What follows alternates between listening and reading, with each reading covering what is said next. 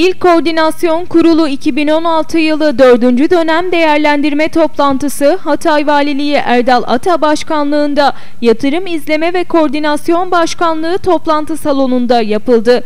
Hatay'da 2016 yılı 3. döneminde 588 adet proje üzerinde çalışıldığını vurgulayan Vali Ata, bu projelerin 320 adedi genel ve katma bütçeli kuruluşlarca, 268 adedi ise Hatay Büyükşehir Belediyesi ve ilçe belediyelerinin imkanlarınca gerçekleştirilmiştir.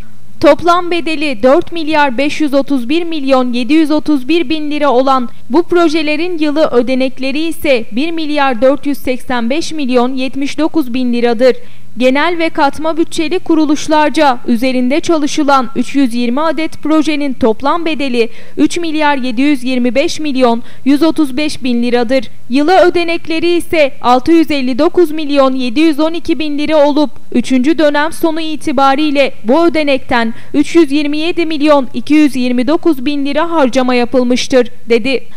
Hatay Valisi Erdal Ata diğer yandan Hatay Büyükşehir Belediyesi Başkan Danışmanları Ömer Faruk Çelebi ve Ayşen Çelengin aralarında bulunduğu Expo heyetini makamında kabul etti. Expo 2016 Antalya yetkililerinin Expo ile ilgili bir sunum gerçekleştirdiği ziyarette konuşan Vali Ata, Expo 2021'in Hatay'da gerçekleşmesi için başvuruda bulunan Hatay Büyükşehir Belediyesi'ne bu konuda her türlü desteği vermeye hazır olduklarını dile getirdi.